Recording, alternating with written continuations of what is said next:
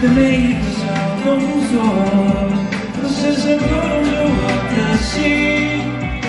我害羞的别过头，其实是想要接近你。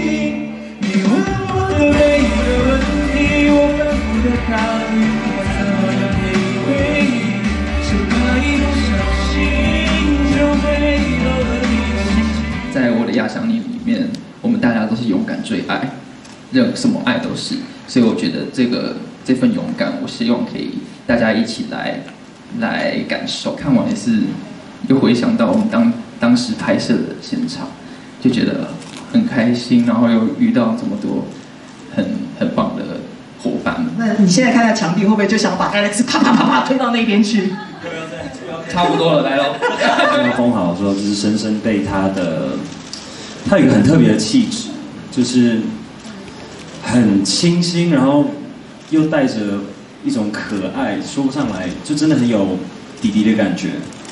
然后那个时候跟他呃演壁咚戏的时候，就觉得哇，被他壁咚的时候最有感觉，我们就是身高有一点差差距，所以他真的这样子壁咚，然后是要由下往上的时候，那一种压迫感会更强烈。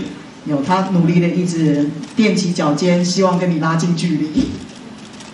不要电了，其实刚才在台下，我跟许安两个人的手都是从头都牵在一起。然后我们有蛮多片段是我们拍完的当下，其实就已经很有感觉。可是刚刚配上配乐之后，其实看看着当下真的是我我自己是眼眶有点泛泪，因为我觉得真的是把这两个人的故事拍得很美。我们第一次在试戏的时候就，我就有跟小姐讲过说。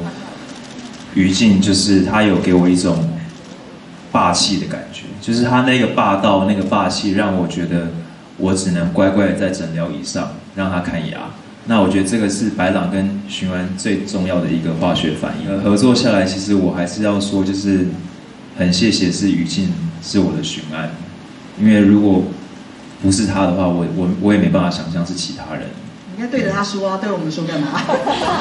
会害羞。